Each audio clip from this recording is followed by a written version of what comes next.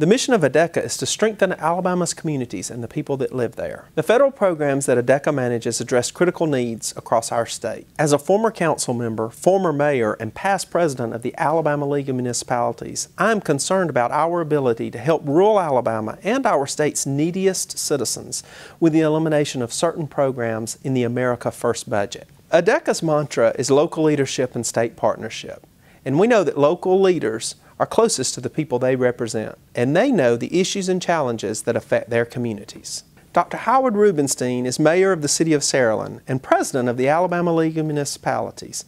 He recently spoke to us about his concerns on the proposed cuts. The Alabama League of Municipalities was formed in 1935 and it serves as an advocacy group for the uh, 462 towns and cities in the state of Alabama.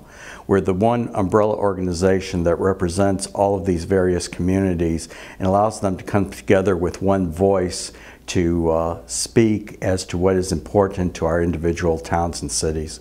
I'm Mayor Howard Rubenstein. I'm currently serving as president of the Alabama League of Municipalities.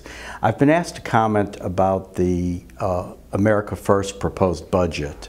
And I do uh, have some serious concerns about the proposed budget. I understand the desire to cut excess spending, but many of the programs that would be eliminated or very sharply curtailed under this uh, proposal would be devastating to our cities and towns. An example is the CDBG program. This program for our community of Saraland uh, made it possible for us to have a senior center and a youth recreation center. Neither of these very well used facilities would exist right now if it wasn't for uh, these allocations. And I, I just really hate the thought of these invaluable services going away. I think it's very important that uh, the decision makers consult with local officials. We're the ones that are closest to the citizens. We're the ones who I think are best positioned to prioritize what is and is not needed for our communities. And I am hoping at, and praying that our elected officials on the national level will look at this and consider the ramifications of uh, whatever cuts that are being proposed uh, for the budget. The Alabama League of Municipalities plans to work closely with the National League of Cities, and we're going to try and prioritize for the federal government those programs that we think are absolutely essential and hope that we can preserve them for the benefit of our citizens.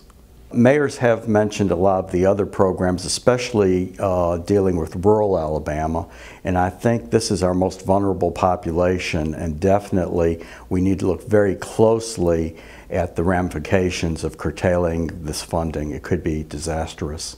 The League of Municipalities greatly supports ADECA. ADECA has provided wonderful service for our state's citizens, and we stand with them and support their endeavors and we'll work uh, as hard as we can to preserve the wonderful work they're doing in our state.